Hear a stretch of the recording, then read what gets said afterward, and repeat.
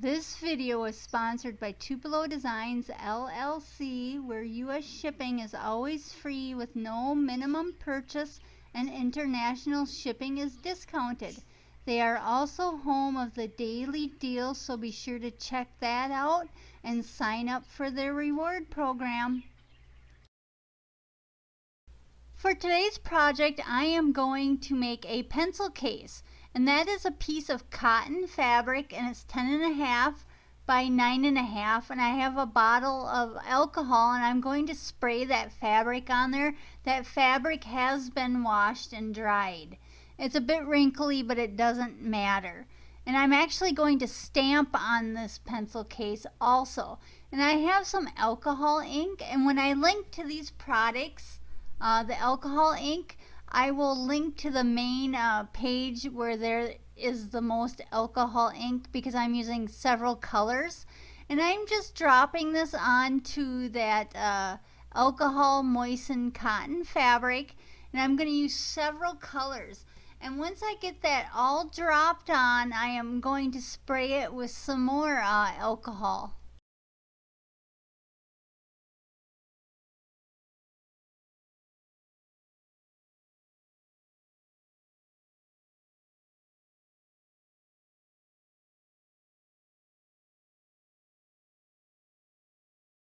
And once I get all that alcohol ink on there, I have a glass bowl and I'm going to squirt some more uh, um, alcohol in there. And this is rubbing alcohol, not drinking alcohol, rubbing alcohol. And that's 91% uh, rubbing alcohol. And then I'm going to take uh, the, the fabric that I've dotted with alcohol uh, ink and I'm going to just swish it around in there because I, I want it to blend better. Uh, you know, when you drop it on there, it doesn't really blend. So I'm going to squish that all around until I get it blended the way I want. And then I will actually rinse it under water.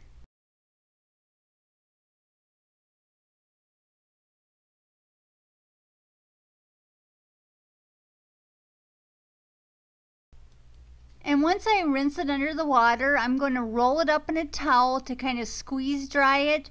And that way it gets rid of some of the excess ink also. So I will just lay it in a towel and I will give it a couple of good squeezes. And don't use a good towel, use an old towel. And now that I got it the way I want it, I am going to actually throw this in the dryer and then I will iron it. I have some white gesso and I'm actually smearing that on with my fingers and I'm putting it up towards the top and uh, to the left because I know where I'm going to sew my zipper so I want to have uh, area to stamp my stamp because it works better when uh, it's on a kind of a crisp surf surface and not a fabric surface. I think it works better. So I'm going to spread that gesso around and then I will take some Dylusions uh, pink paint and I will do the same. I will smear that on also.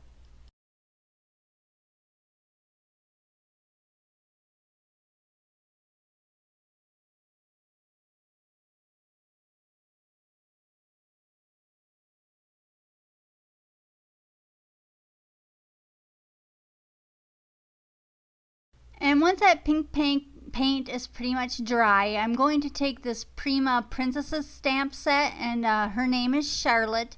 And I'm going to take a foam brush and I am going to brush on some uh, dark blue Dylusions paint and then I will stamp it onto that pink part of the fabric.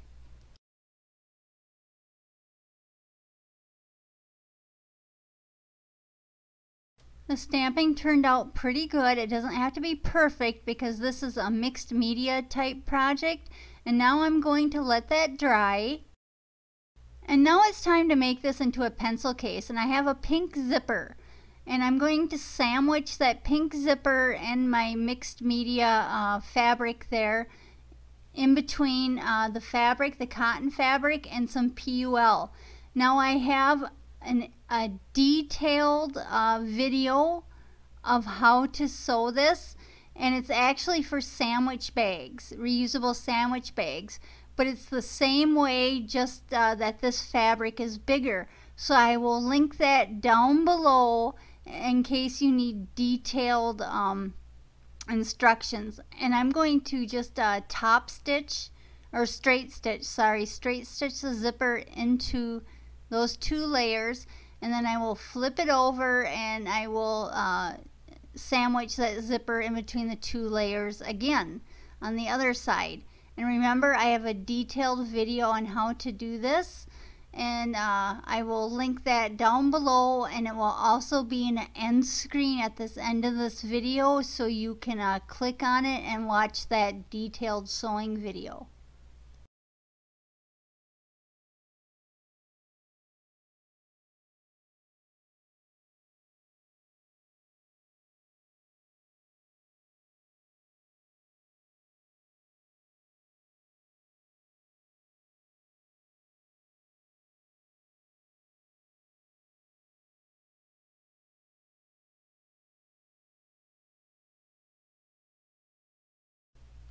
And there we go. The pencil case is finished and it turned out super cute. I always say super cute. but it's a perfect pencil case. And the inside is moisture proof. So that means like if I wanted to put like a, a wet um, colored pencil in there, a watercolor brush or something like that, I could put that in that bag. And uh, super cute. I just can't believe how cute it turned out. But again, I have detailed instructions on how to sew this type of bag, but it's in another video and I will link that down below and I will also have an end card you can click on.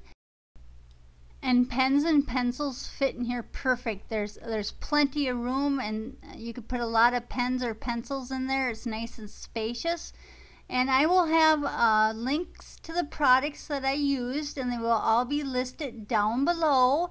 And I've made it easy for you to subscribe to my channel. You just can click on my avatar or my profile picture and I will have that end card of that other video to the left and another interesting video. So thanks for watching. Bye.